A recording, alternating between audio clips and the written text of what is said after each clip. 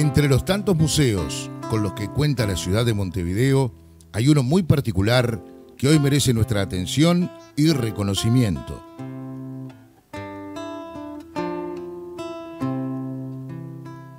Situado en pleno centro de la capital, más precisamente en la calle Julio Herrera y Oves 1322, se encuentra el Museo Histórico de UTE.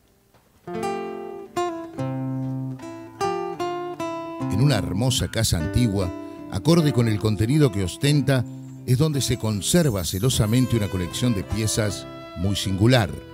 con un valor histórico, cultural, técnico y científico muy importante.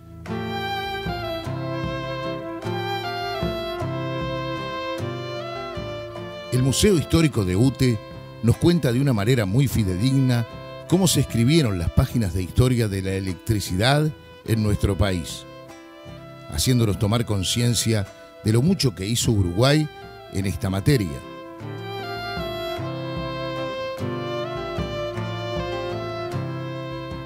Una vez dentro del museo, comenzará un viaje en el tiempo del cual será imposible escapar,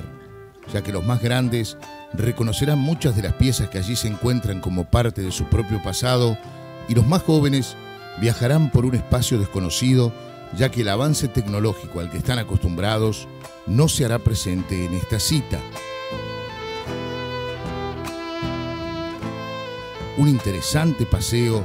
para realizar en familia, grupos, solo o acompañado, pero que sin dudas nos dejará una grata y nostálgica impresión de un tiempo que fue tan majestuoso como la gente que lo forjó.